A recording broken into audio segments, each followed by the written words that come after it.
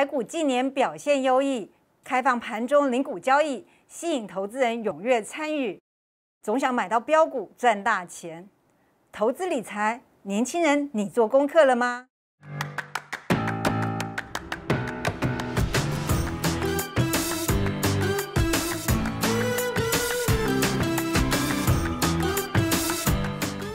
大家好，欢迎来到今天名家来了。今天我们邀请到证券暨期货市场发展基金会董事长林炳辉，林董事长，欢迎。主持人好，各位观众好。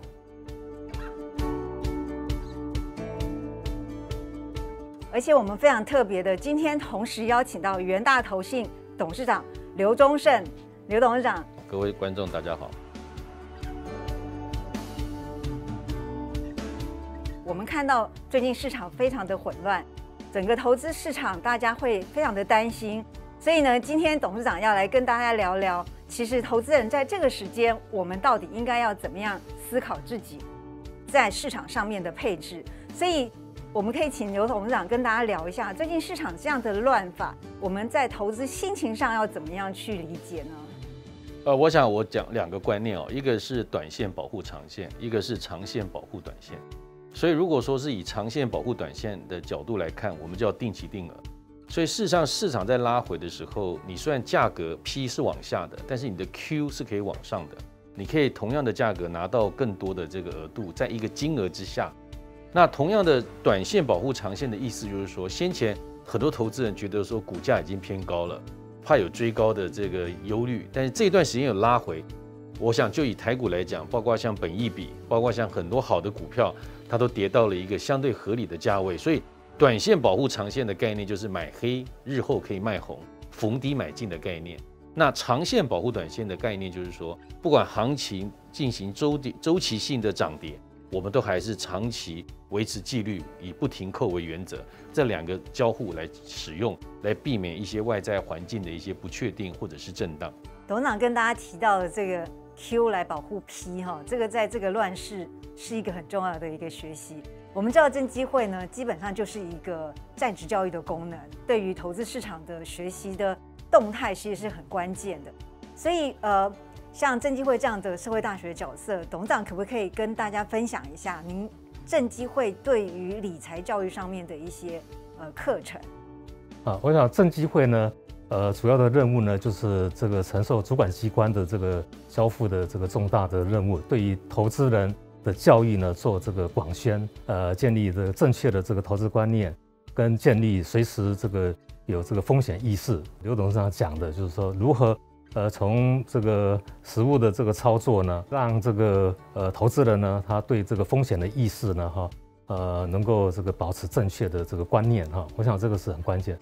同时呢，证监会也善用各种呃管道哈，譬如说呃各种现在这个年轻人比较喜欢用的这个网络啦，或或者科技的这个管道啊，然后借由这些管道呢，啊，让他们建立一些正确的投资观念。我觉得董事长跟大家提醒两件事：证监会就是一个社会大学，证监会开的课其实大家都应该要多关心，不是说只是去那边考证照，对不对？董事长，您最近有听说市场上有一个五百元违约交割的案例？这个呢，它其实只是一般投资人。我们听到这样案例的时候，就发现它缺少的是一个专业知识。请刘董事长跟大家分享他在市场上的经验。我们再请林董事长这边跟大家讲，在上课上面您怎么样去强化？好，我想投资是可长可久的。我们常常讲，先求不伤身体，再求疗效。那也千万不要因误会而结合，因了解而分开。所以，我们这个行业经常讲，投资前请详阅公开说明书。就是我们叫 KYC 跟 KYP，那我想理财之前一定务必要先学习，这是一个非常重要的过程。所以我们常常讲，不是给投资人鱼吃，而是要教他钓鱼，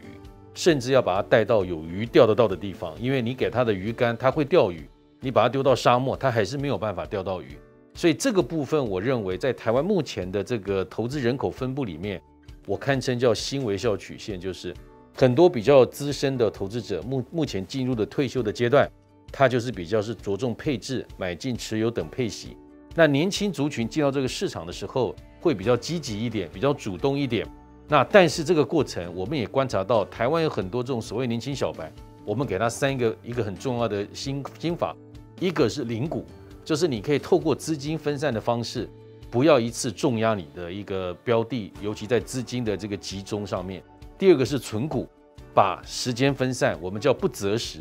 第三个就透过 ETF 或共同基金，叫不择股。所以你把标的分散、时间分散、资金分散，维持长期纪律，详页公开说明书，了解风险之所在。我认为持盈保泰就可以在理财的第一里路上面，就先定定了一个良好的基础。那日后我想来日方长，应该有机会参与到任何一个投资，不管是国内国外、主动被动、传统另类，或者是股票跟债券。都可以得到它一个长期的一个资本累积的效益。刚刚董事长跟大家提的这种几个方法当中，你还可以碰到各式各样的资产，这件事情也是一个经验的学习嘛，对不对？所以不晓得林董林董事长在正机会这边的上课啊，或是在宣导的时候，这这部分像违约交割这几个字，我觉得应该大部分的一般投资人都没有记得这件事情的重要性吧。呃，最近这这个年轻人哈，这个小额的这种违约交割呢，的确是呃。主管机关呢，哈，我们各界大家都非常的这个关心跟重视了哈。呃，随着这个金融化的这种趋势呢，大家存股的这种概念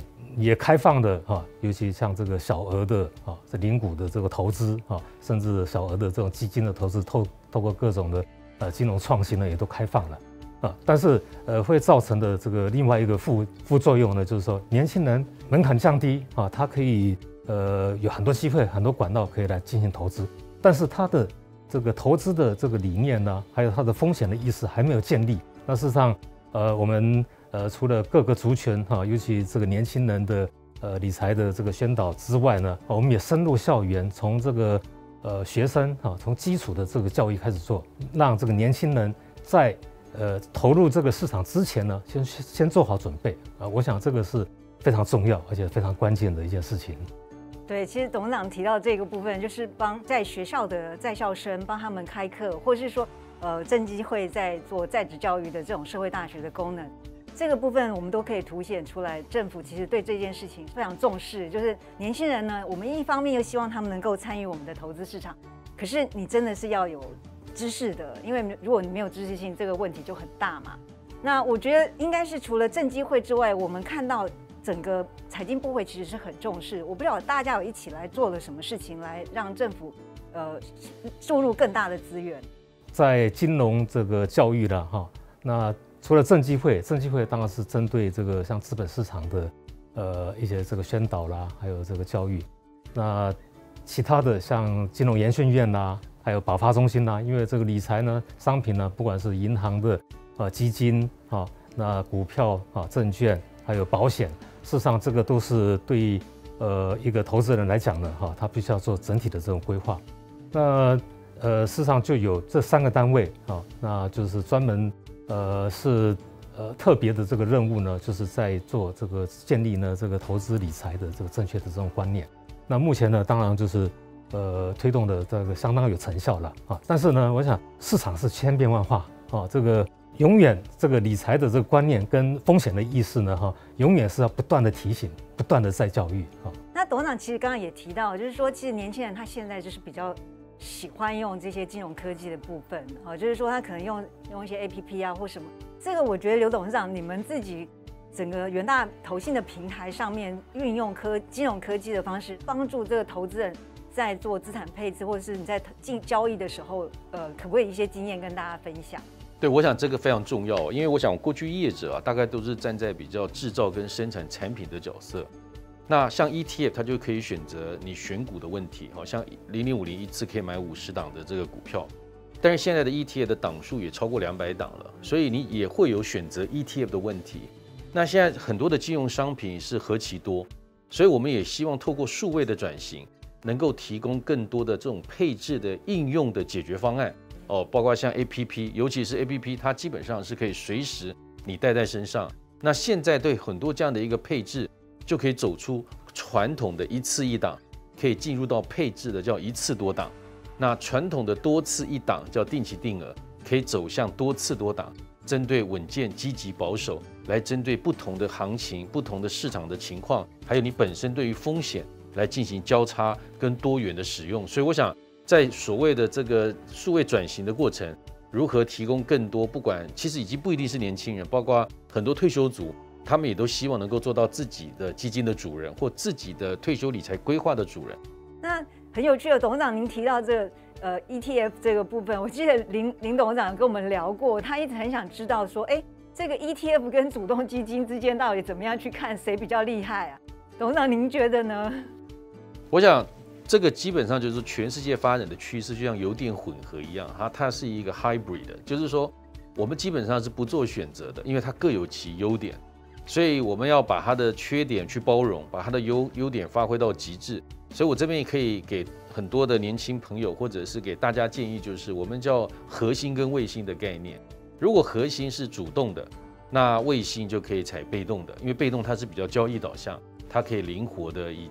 的交易的导向来配置，那主动的就是可以做长期持有。那同样的，如果说你喜欢做核心是被动的，像零零五零、零零五六，那主动的你就可以找到攻击力很强的基金经理人来互为表里。那这里面基本上进入到这样的一个整合投资的时代，我们就可以避免零和的概念。我们常常讲，聪明的你是不做选择的，我们把它做成一个配置。刚刚提到的应用。那这样子就可以充分的、灵活的利用每一种金融标的跟金融工具的特色，来因应自己的需求，达到最佳的配置。所以林董事长，您觉得董大刘董事长刚刚大家跟大家分享的这个部分，你又要呃分散国内外、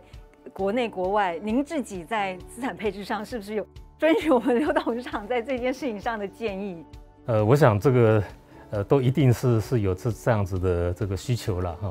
那事实上，我觉得。不管是主动、被动，哈，那对呃我们投资人来讲呢，哈，我觉得大家都可以充分应用的，呃，一个这个工具了，哈，事实上是可以，也可以做一些配置。那呃，当然 ETF 啦，或者基金啦，哈，不管主动、被动，哈，事实上都是专家在在在操作，啊。那我就对投资人来讲，啊，我最大的一个建议呢，就是说，我们必须要尊重这个专家，我们必须要对这个市场呢，哈，充满着敬畏之心。那我们也看到刘董事长这边，您从零开始把基 ETF 市场在台湾整个这么蓬勃。那我们记得那个国国外的金融机构，他们也说，哎，发现台湾为什么 ETF 涨得这么快？因为都是由刘董事长这边来把这个市场做一个健全的发展。所以董事长，您在做这个 ETF 配置的时候，您对于自己在思考，就是你自己的财富理财观的时候，你有想到一些相关的事情吗？我想，基本上，呃，我我的理解也是先了解风险之所在，再去追求所谓的可能未来的报酬。那我想，其实今天也以我个人对理财的这样一个看法，我认为台湾的整个市场在主管机关，包括像证监会等努力的发展之下，是具备一定的制度跟一定的这样的一个发展的力度。但是事实上呢，我认为每一个投资者，包括我自己，在看待不管产品的发展跟产品的投资。还是要注意两个，一个是态度，跟另外一个是程度。那态度就刚刚提到的，要先求不伤身体，再求疗效。哦，这个不要追高杀低。但是我这边要提到的，就是说这个所谓的程度，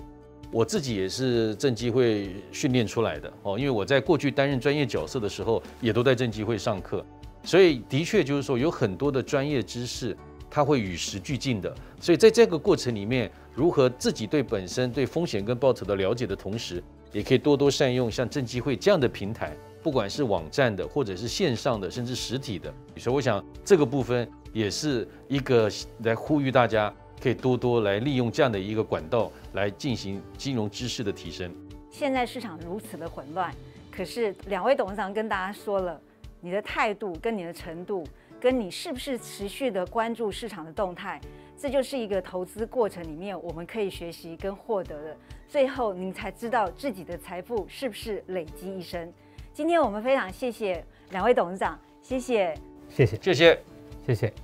如果你喜欢我们的影片，请记得按赞、订阅、开启小铃铛，就能在第一时间收到我们节目讯息。